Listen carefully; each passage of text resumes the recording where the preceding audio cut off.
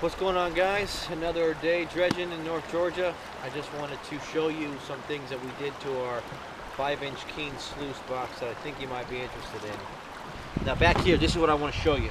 We added an 18 inch extension to this box. If you see the sides here, this is just um, some sheet metal. I think it was uh, eighth inch.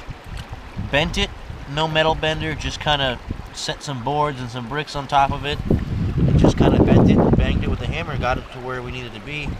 So it gives us an additional 18 inches on the top, 18 inches on the bottom. Well, about 16 because I like it's got to hang over a couple inches here. But here I'm running just all Talon mat and the back. These Gold Hog mats. Talon mat, I love the Talon mat, man. I mean, just nothing can get by this stuff. But this looks a little particularly clean. We're still dialing our boxes in. It's only the second day here. We've been here for a week, and we have literally only gotten about five hours worth of dredging, including today.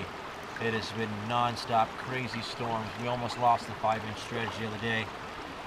Really bad story. So we're going to uh, clean this up and see what we got for a couple hours. We're going to get our gold per hour and see what we got. But uh, definitely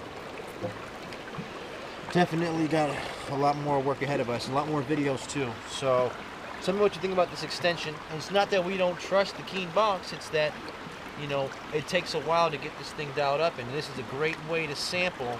I'm already starting to see a few pieces of gold in this mat. It's a great way to see what this box normally would have lost, and if it is losing gold and you do have gold in this back extension, then you know you can maybe adjust your box a little bit better. This is perfect for sampling and the adjustment of the box. So hope you like it. Check it out. Come see us.